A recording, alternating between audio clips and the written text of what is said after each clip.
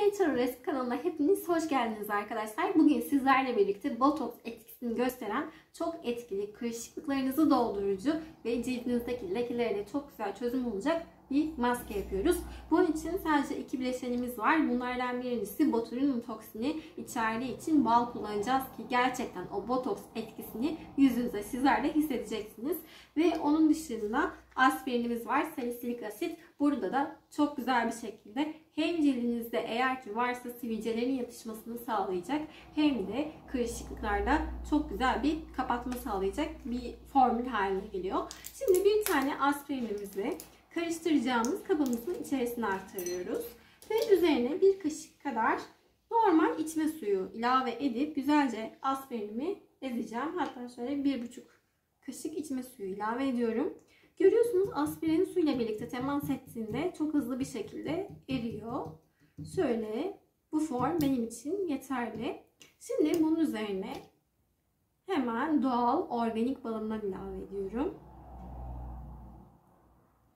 Şöyle bir tatlı kaşığı kadar balımızı da ilave edelim. Bu bal maskelerinde çok güzel bir şekilde cildinizde hem nemlendirme etkisi yaptığı için kuru ciltler için mükemmel bir nemlendirici hem de cildinizdeki kırışıklıkların gitmesinde, sivilcelerin yatışmasında çok etkili bir formül haline geliyor. Yani aile boyu büyük küçük herkesin yapabileceği bir maske. Fakat burada dikkat etmeniz gereken en önemli husus aspirin alerjisi olan kişilerin bunu kullanmaması gerekiyor. Lütfen aspirin alerjisi olan kişiler bunu evde denemesinler. Şöyle görmüş olduğunuz gibi benim artık maskem hazır. Bunu cildinize sürdükten sonra 15 dakika kadar yüzünüzde bekletiyorsunuz ve sonrasında ılık suyla sonrasında yine soğuk suyla yüzünüzü yıkayarak sizler de güzelliğinize güzellik katabilirsiniz.